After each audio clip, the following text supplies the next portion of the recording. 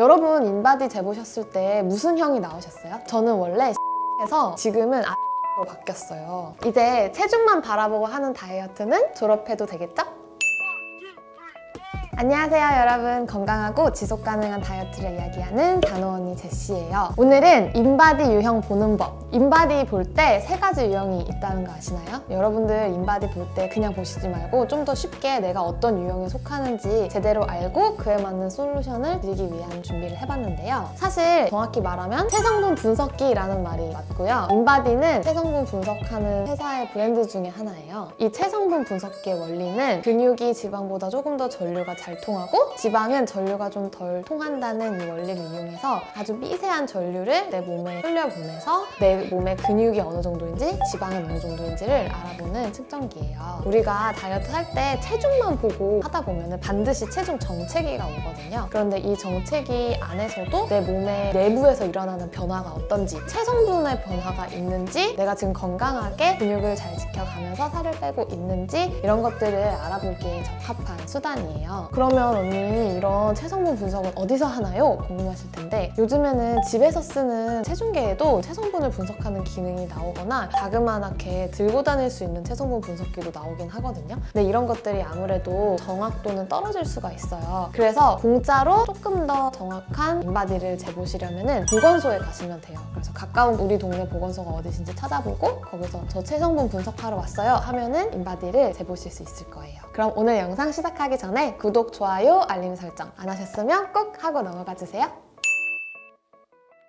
이게 바로 제가 최근에 해본 인바디 결과지인데요. 이걸 읽는 방법을 알려드릴게요. 일단 여러분들이 제일 중점적으로 보면 되는 부분은 골격근이랑 지방이 얼마나 있는지 이 두 번째 그래프예요. 그래서 내 체중이 몇이고 그중에서 골격근량이 몇 킬로고 체지방량이 몇 킬로인지가 나오는 부분인데요. 이 그래프의 끝점을 이었을 때 만들어지는 모양이 C인지 D인지 또는 I인지에 따라서 내 몸이 지금 어떤 상태이고 앞으로 어떤 솔루션으로 몸을 관리하면 되는지가 나 오거든요. 먼저 이 세 그래프를 이었을 때 일자가 나오는 I형이신 분들은 근육과 지방을 골고루 갖춘 건강한 체형이에요. 다만 내가 I형이긴 한데 표준 이상에 가 있는 I형이다. 그러니까 그래프가 되게 긴 I형이다 라고 하면은 근육도 많고 지방도 많은 상태를 의미해요. 그래서 이런 경우에는 어떻게 다이어트를 해야 되는지 이따 알려드릴게요. 두 번째, C형은 체중이랑 체지방량 그래프는 앞으로 많이 튀어나와 있고 골격 근량은 부족한, 쏙 들어간 그래서 이렇게 C자를 이루는 형태인데요. 이런 C형을 나타내시는 분들은 근육이 지방보다 좀 더 부족한 체형이에요. 그래서 대표적으로 우리나라 여성분들 중에서 겉으로는 마르고 아무도 살을 뺄 필요 없다고 생각하는데 살이 되게 말랑말랑하고 운동량이 현저하게 부족하신 분들 또는 겉으로 봤을 때 비만은 아니지만 내장 지방이 높으신 분들이 이런 C형에 많이 해당되세요. 그리고 마지막 D형은 체중이랑 체지방량 그래프보다 골격근량이 현 저히 앞으로 나와 있어서 끝점을 이어봤을 때 D 모양이 나오는 그런 형태시라면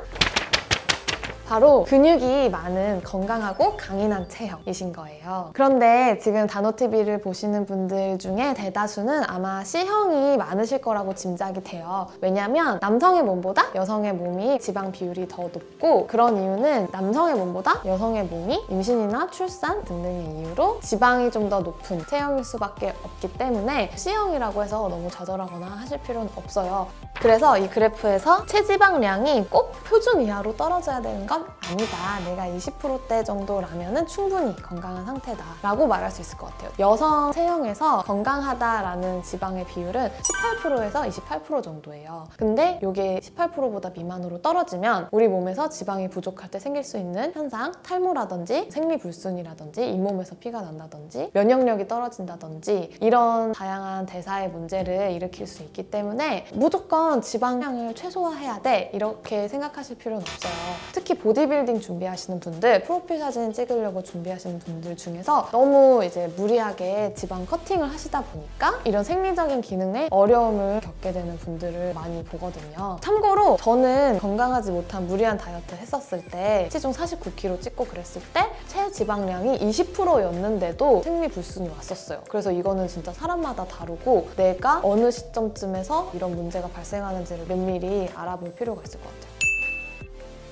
그러면 언니 저는 이런 이런 유형인데 어떻게 다이어트를 해야 하나요? 이제 솔루션을 한번 이야기를 해볼게요. 일단 I형이신데 모두 표준 쪽에 머물러 계신 분들은 지금 매우 건강하고 적당한 근육을 유지하면서 좋은 영양 상태를 갖고 계신 거니까 지금처럼 유지를 해주시면 되는데 단 내가 I형이긴 I형인데 표준 이상에 있다 그러신 분들은 지금 몸에 지방도 많고 근육도 많고 전반적으로 약간 비만하신 형태일 수가 있어요. 근데 언니 저는 살만 많이 찐것 같은데 저 근육이 없는 것 같은데요? 라고 생각하시는 분들도 사실 우리가 살이 찔 때 근육도 같이 늘어나고 살이 빠질 때 어쩔 수 없이 근육도 많이 줄어들거든요. 어느 정도 같이 가는 부분이 있기 때문에 이러신 분들이 많이 생각하는 오해가 어, 나는 근육이 많으니까 근력 운동은 하나도 하지 말고 뭐 식단 관리만 해야겠다던가 아니면 유산소 운동으로 이 지방을 빨리 없애야겠다. 그러면 근력만 많이 남겠지? 이렇게 생각하실 텐데 그렇진 않고요. 아마 살이 빠지면 자연스럽게 근력도 이 표준 쪽으로 당겨 오시게 될 거예요. 그래서 이런 표준 이상 I형이신 분들은 식단 관리와 함께 근력 운동 해주시는 거 되게 중요해요. 유산소 운동은 지방을 빼는 거, 무산소 운동은 근육을 늘리는 거 이렇게 생각하시는데 이게 절대 아니거든요. 우리가 단기간에 폭발적인 힘을 내서 해야 되는 고강도 운동이 무산소 운동이고요. 탄소를 활용해서 에너지를 내는 저강도의 운동은 우리가 유산소 운동이라고 불러요. 그렇기 때문에 사실 같은 시간에 더 효율적으로 지방을 태우고 싶다라고 한다면 근력 운동 을 꼭 해주셔야 됩니다. 물론 식단 관리를 꼭 같이 해주셔야겠죠? 이 식단 관리라고 하면 너무 과한 탄수화물을 줄이고 식사량 자체를 조절하는 걸 의미해요. 두 번째, C형이신 분들을 위한 솔루션인데요. 이거는 저의 사례를 좀 말씀드릴게요. 제가 과거에 한 6, 7년 전에 습관 성형을 처음 시작할 때 그러니까 몸에 안 좋은 다이어트 하고 요요 경험하다가 근육 하나도 없는 상태에서 습관 성형 처음 시작할 때쯤에 했었던 인바디 결과들을 찾아봤어요. 근데 보니까 그때 제 키가 169, 지금이랑 똑같았고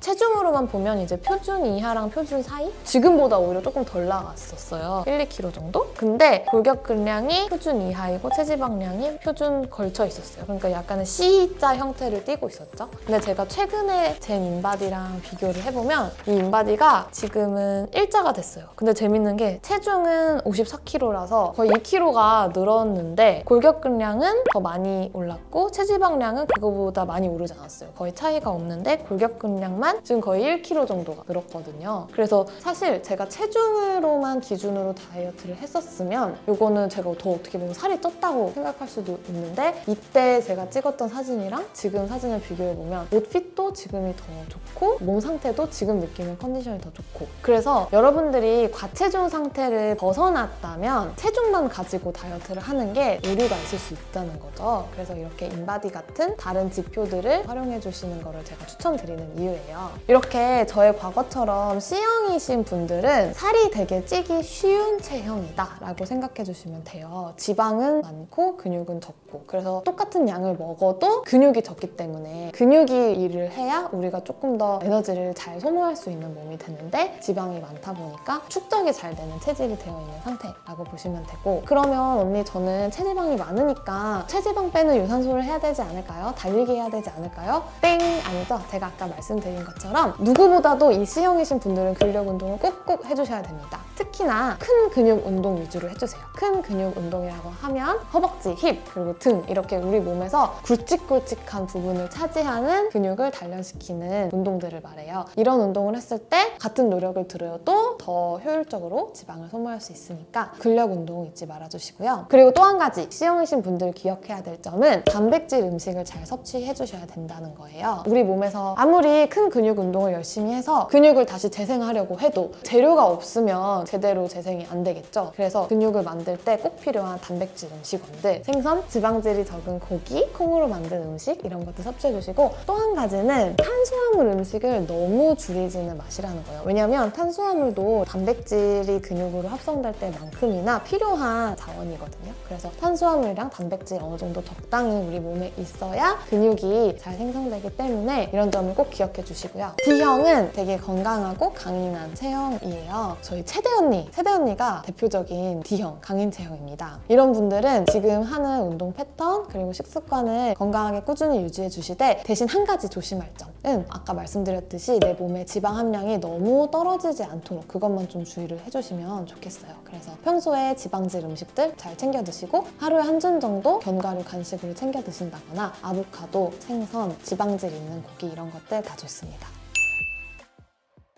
이렇게 해서 인바디 I형, C형, D형에 맞는 솔루션 한번 알아봤는데요. 아무리 이런 체지방 측정기가 체중보다 더 정확할 수는 있어도 내 눈보다 정확하진 않아요. 무슨 말이냐면 너무 많은 변수에 의해서 결과값이 달라질 수가 있거든요. 근데 내가 이 1kg 늘었다 줄었다 퍼센티지 1% 빠졌다 늘었다 하는 것 때문에 너무 일희일비하면서 스트레스 받을 게 걱정이다 라고 하시면 차라리 3개월에 한 번씩 재시는 걸 추천을 해요. 왜냐면 체지방이라는 게 하루아침에 확확 달라지는 게 아니다 보니까 똑같은 조건에서 텀을 많이 두고 장기적인 관점에서 어떻게 내 몸이 변하는지를 보면 좋을 것 같아요. 저 같은 경우는 3개월에 한 번씩 시즌별로 인바디를 한 번씩 재고요. 체중계는 한 달에 한 번 정도. 그리고 체중계랑 같이 또 할 수 있는 대안은 둘레 재는 거, 줄자로 어떻게 변하는지 한 달에 한 번씩 체크하고 주마다 할 수 있는 거는 내가 입어보고 싶은 옷 한 번씩 입어보는 거. 사실 저는 이게 제일 정확한 것 같거든요.